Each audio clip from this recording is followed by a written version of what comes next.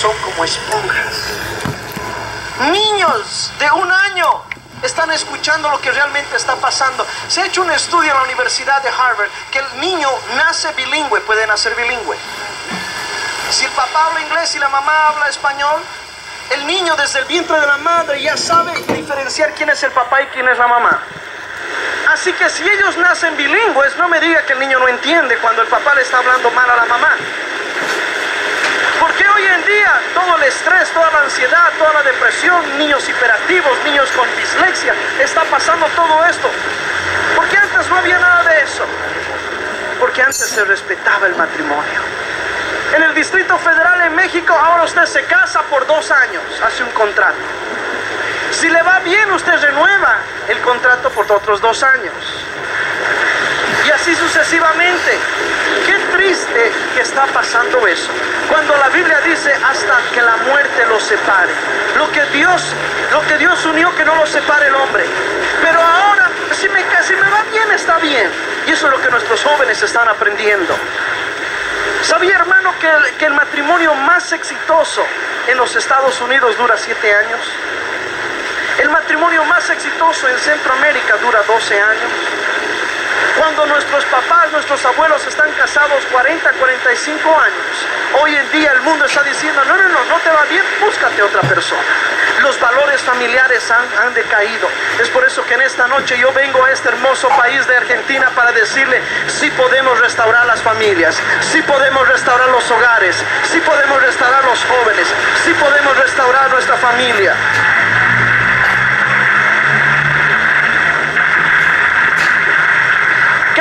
aspecto de la existencia emocional y física de la mujer depende del amor romántico que recibe de su esposo. Déjeme repetir una vez más. Cada aspecto de la existencia emocional y física de la mujer depende del amor romántico que recibe de su esposo. En otras palabras, hermanas, si usted le duele la cabeza, usted está con depresiones porque su esposo no le está dando mucho amor.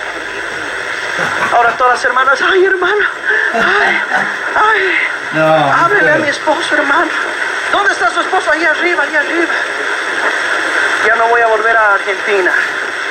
Pero vamos a comenzar desde aquí arriba hasta allá atrás.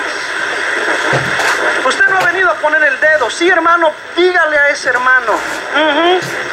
Te está hablando el hermano Samuel. Para ti es para tus hijos. No, no, no, es para todos nosotros, comenzando en mi familia, comenzando en la familia hermano Mendizábal, hermano Quintero, hermano. Todos nosotros necesitamos restauración familiar. ¿Cómo podemos tener hijos sanos en un mundo enfermo cuando el matrimonio está unido? Cuando la familia está unida, cuando los hijos ven un gran ejemplo. Es ahí cuando nosotros podemos ver. Es increíble cómo está pasando los problemas, las dificultades. La mujer busca la aprobación de los hombres y si no los recibe se vuelve insegura. De ahí vienen los celos. Los hijos se vuelven inseguros. La mujer necesita sentirse segura para estar más relajada y confiada en su relación con, su esposo, su relación con, con Dios. Cuando, los, cuando el esposo da el primer paso, los hijos se sienten más seguros. Impresionar a mis hijos desde este púlpito. Yo voy a impresionar a mis hijos en mi habitación. El verdadero yo estoy ahí en mi casa. Aquí es todo bonito, Qué bello se ve. Qué lindo, hermano Cardoso. Qué simpático. Pero a mi esposa le puedo decir qué bonita que está. A mis hijos los puedo dar un beso. Puedo salir agarrado de la mano con mi esposa. Muchas veces salen agarrados de la mano y el pobre hermano está, apúrate, pues apúrate, apúrate. O muchas veces la hermana está con el baby, con la Biblia, los pañales, la Biblia del esposo, entrando. Ay hermano, alabado sea el Señor. Y de ahí arriba, ¡hey! ¡Mis llaves! ¿Me puedes ayudar? No tengo no tengo tiempo. Tengo que ir a predicar, no tengo tiempo. Y la pobre hermana ahí con el biberón, el pañal del hijo, el pañal del esposo. Es tiempo de madurar. Es tiempo de madurar. Es tiempo de dejar el orgullo y decir nosotros sí podemos hacer la diferencia. Cuando salga, salga con usted hermano, salga con el biberón, con el pañal, salga con todo eso. Y el vecino va a ver, híjole hermano, se fumaron marihuana de nuevo.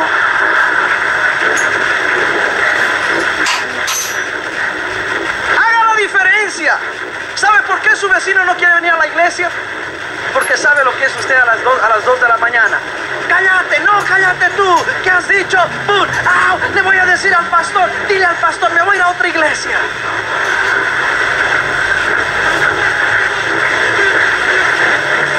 Y al día siguiente, amén, hermanos, ¿cuántos dicen gloria a Dios? Shh, Siéntate ahí.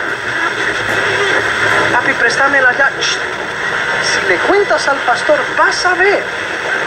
Vas a ver. Y la hermanita, sí.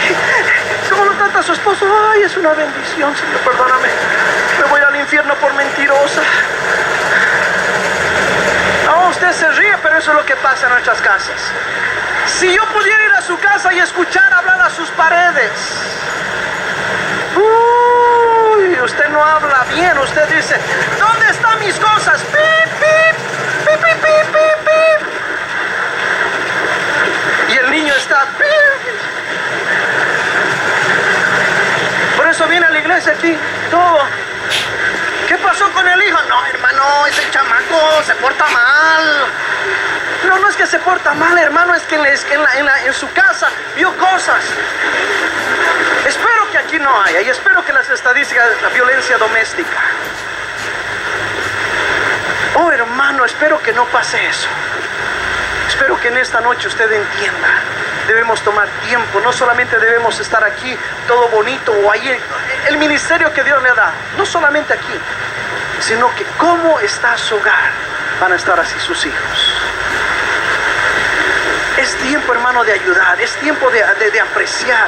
Hermanas, es tiempo de apoyar a sus esposos. Uy, tres hermanas. Ahora las hermanas se van a ir a cocinar. Ahorita, hermano, nos vamos a ir a cocinar. No, no, quédese. Hermana, es tiempo de apoyar a sus esposos. Ya cinco hermanas. Hermanos, es, es- es- es tiempo de ayudar a nuestros esposos. Porque dice amén a nuestros esposos. Yo no tengo esposo. Es tiempo de apoyarlos. Cuando su esposo esté haciendo algo le ponga el clavo, mi amor, el, el esposo no quiere besos. ¿Sabe? Se ha descubierto que el cerebro de la mujer es más, más, más pequeño que del hombre. Oh, los hermanos, amén, sí, hermano. Oh, aleluya, gloria a Dios. Oh, recoja la ofrenda, dele ofrenda al hermano. Le voy a decir cómo. Es más pequeño, pero es más poderoso. Oh, ahora las hermanas, amén. ¡Uh!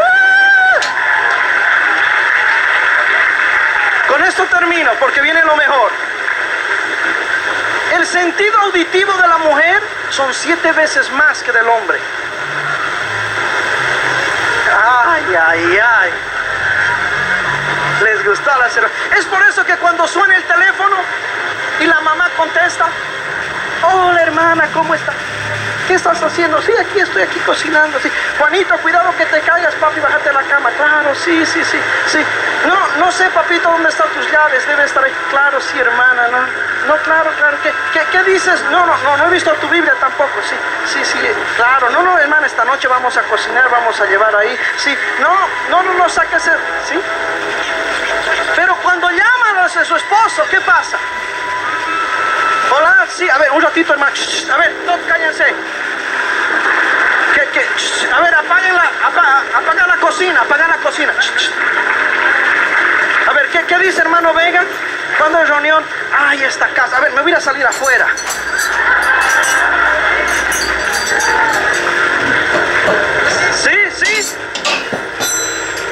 No, ahora las hermanas, amén, hermano, así son, así son. Por eso las esposas les, les gusta escuchar cosas positivas. Porque cuando usted le dice, mi amor, qué bella que estás, Uh, ella escucha siete veces eso. Qué bella estás, qué bella estás, qué bella estás, qué bella estás, qué bella estás. Y cuando dice qué bella está, ella dice, se lo voy a cocinar mejor, se lo voy a cocinar mejor, se lo voy a cocinar mejor, se lo voy a cocinar mejor.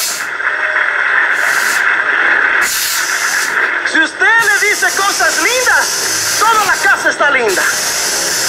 Pero si usted le dice, ¿cómo me veo? Igual, más sana. Que se pudran sus riñones.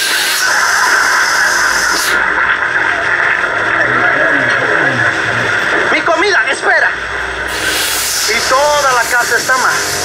Y vienen a la iglesia todos ahí, todos amargados. En ese nombre hay poder, en ese nombre hay poder, en el no. Antes de llegar a la iglesia deberíamos llegar a la iglesia en victoria. El pastor no debería ser el, el gualipolero, el cheerleader. Hermanos, gloria a Dios. No, no, no. Usted debería entrar. Uh, hermano, siento algo poderoso porque yo y mi familia vamos a sentir la presencia del Señor como sentimos allá en mi casa. El problema es que venimos todos peleados a la iglesia y el pobre pastor tiene que restaurarlos y después predicar y después ganar almas. Pero todos nosotros deberíamos hacer eso. Hablar cosas positivas. Nuestros hijos están viendo las cosas. Nuestros hijos están viendo qué es lo que usted hace, qué es lo que no hace. Todos ustedes, rapidito hermano, todos ustedes. Míreme, míreme. Agárrense su, su quijada. Todos agárrense su quijada. Todos, todos su quijada. Agárrense su quijada. Todos. Muy bien. Todos agárrense su quijada. ¿Acaso es la quijada?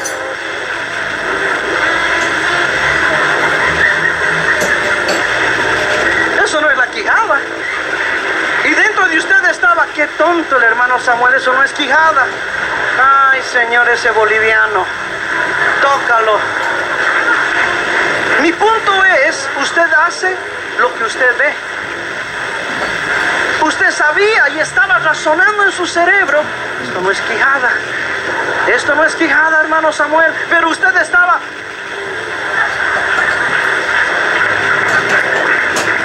Es así como funciona el cerebro. Lo primero, ve. Y es por eso que cuando usted va donde su esposa, sus hijos, ven y dicen, oh, así tiene que ser mi familia. Es así como yo puedo ser un hijo sano. Es así como puedo yo bendecir. Esta noche, hermano, podemos hacer la diferencia. Esta noche usted puede salir de aquí diciendo, yo en mi casa serviremos a Jehová. Esta noche usted puede salir y cambiar ese, ese orgullo, cambiar todo eso y decir, Señor, bendice a mi familia.